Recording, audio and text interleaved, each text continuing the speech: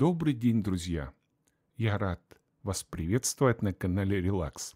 Я Игорь Пономаренко, автор канала Релакс, врач. Сегодня мы отправимся в очередное путешествие по игре Дивизион 2 и откроем очередные секреты этой замечательной игры. Поскольку тема чрезвычайно важная, подписывайтесь на канал и получайте те знания, которые вам помогут комфортно справляться со всеми трудностями игры Дивизион 2.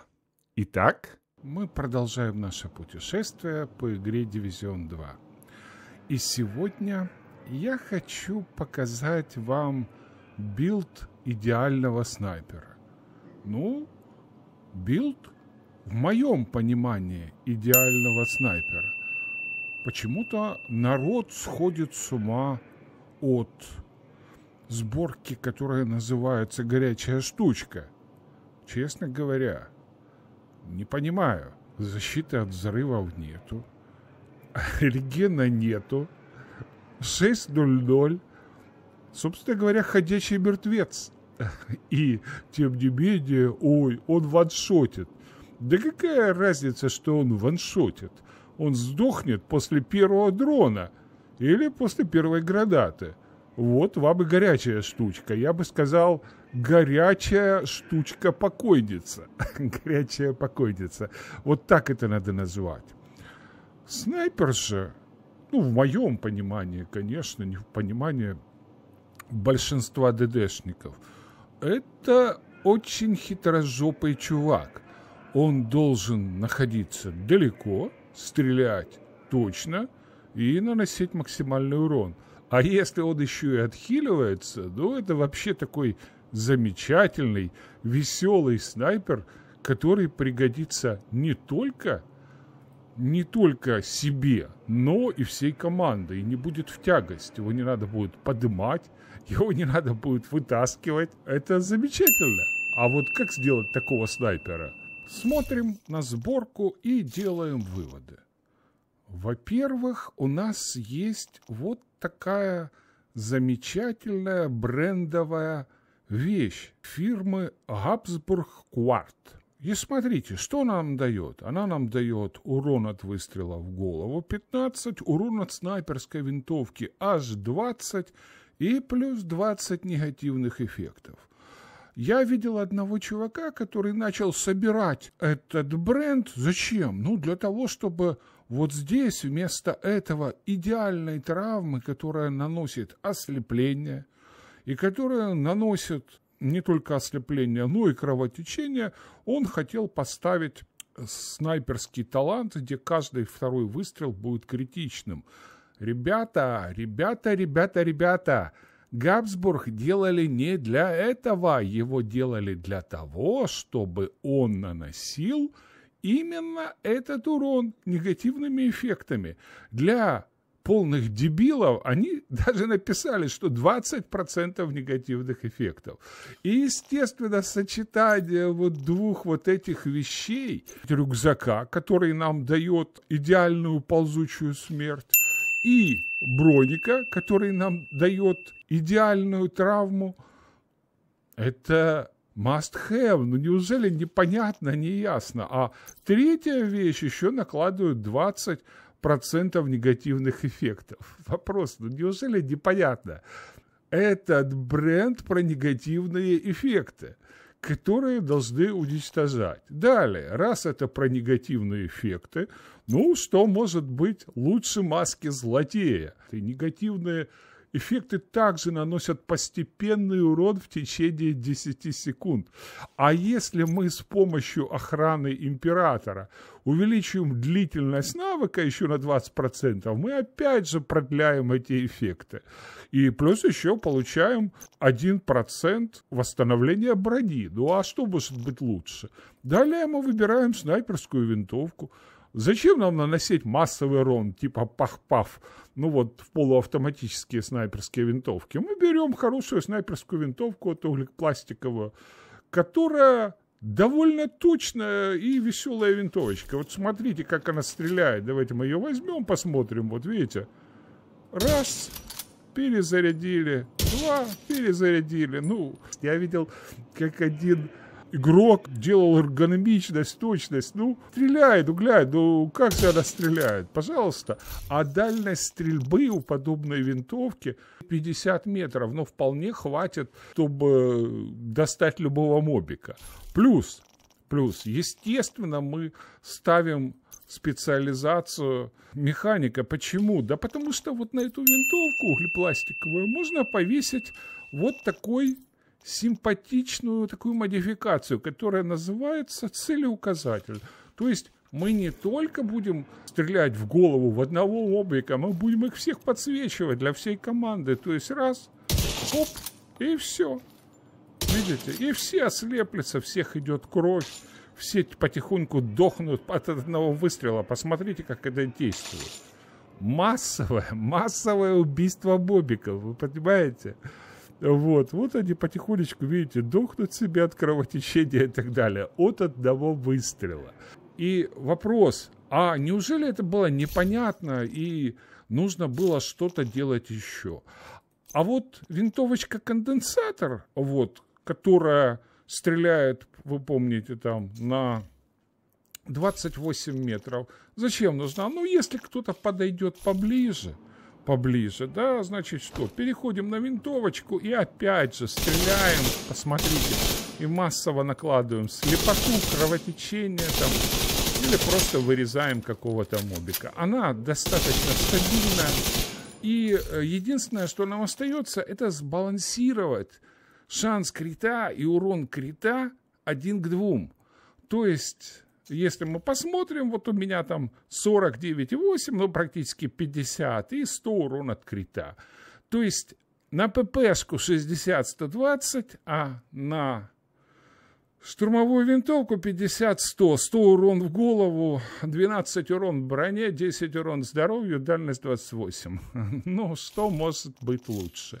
И броня, посмотрите. 1,3 миллиона брони. Далее.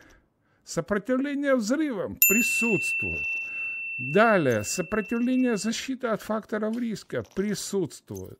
С этими шмотками, я надеюсь, все понятно, и возникает вопрос, а что еще нужно? Да отхил нужен, понимаете? И отхил нужен не только вам, но он нужен еще игрокам, потому что ДДшники 6.0.0, парни горячие, штучки, они нуждаются в чем? В отхиле. Поэтому мы ставим материнскую любовь, а получаем 20% навыков ремонта, и у нас еще возникает прочность объектов навыка. То есть, чтобы в нас не стреляли злые мобики, мы выбрасываем вперед нашу обманку, которая имеет уже 10% прочностью. Замечательно, замечательно. И, естественно, улей, который мы выбрасываем, тоже имеет 10% прочности. Нет, нет. Улей предназначен в первую очередь, конечно, для себя, для себя любимого. Но поскольку им будут пользоваться все ДДшники, ну, бог с ними. Во всяком случае, подобная сборка, еще раз ее показываю, она, она не будет в тягость вашим партнерам, она им будет только помогать. Всем тем, кому всем все понятно, ребята, спасибо за просмотр, пока. А вот те, кто останется, мы посмотрим, как это действует в бою.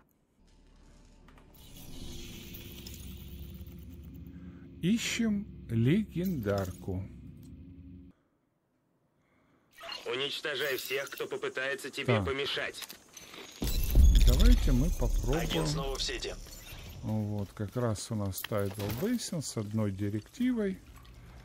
Хорошая операция. Ну, сейчас посмотрим, насколько мы будем полезны при такой сборке.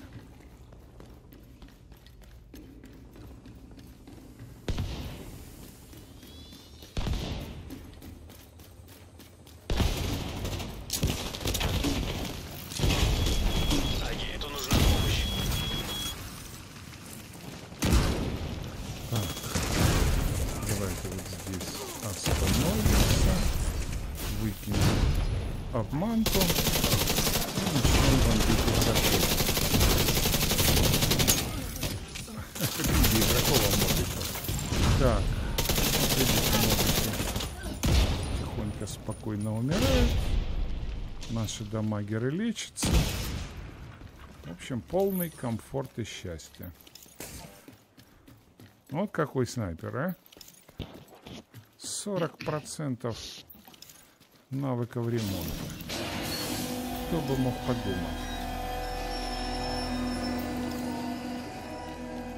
Run to the other side.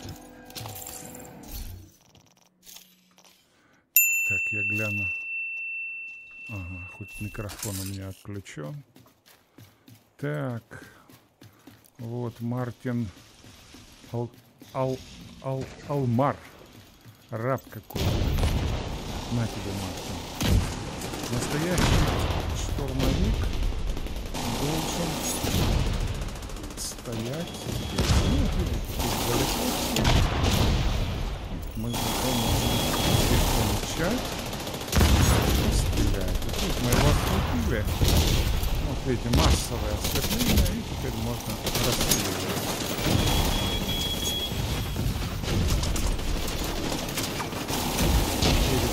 Поближе и работать с остальными. Да. Закончилась наша Подумка.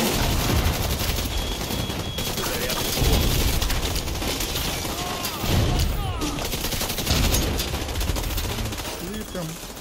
Берем обманочку. Так, еще раз.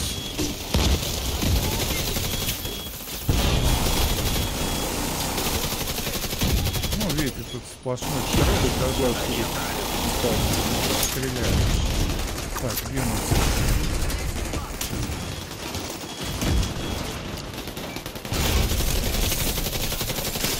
Да, неплохо все.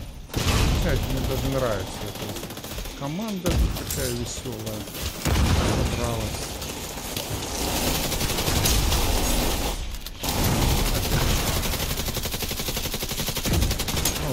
Ребята.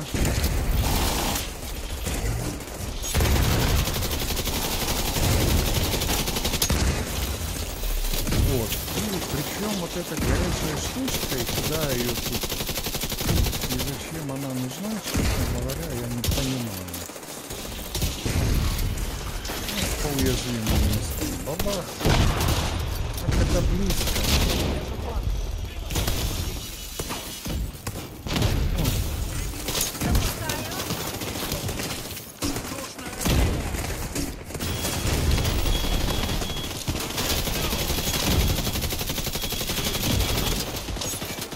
Главное, что у нас идет с вами массовое врагов. Что нас интересует, мы применяем видите обманку. Вот обманка вышла, она у нас довольно прочная. Стоит, видите, улей нас откатывается быстро. Ну, в случае необходимости мы всегда можем поймать этого модика, вот стрельнуть в голову. Видите, массовое ослепление модиков, которые при этом начинают потихоньку дохнуть. Что может быть лучше?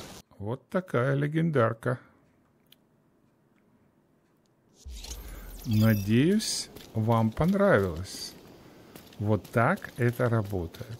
Но остальное, конечно, зависит от координации команды, от опытности игроков. Легендарка это все-таки остается серьезное испытание. Вот так. Вот и все, друзья. На сегодня мы закончим наш ролик, но поскольку секреты игры Division 2 далеко не раскрыты, мы встретимся на следующей неделе. Я обещаю рассказать кое-что не менее интересное. Следите за объявлениями. Хотите знать, что еще важно? Подписывайтесь на канал и получайте те знания, которые вам помогут комфортно справляться со всеми трудностями Division 2. Спасибо за внимание. А продолжение? А продолжение следует.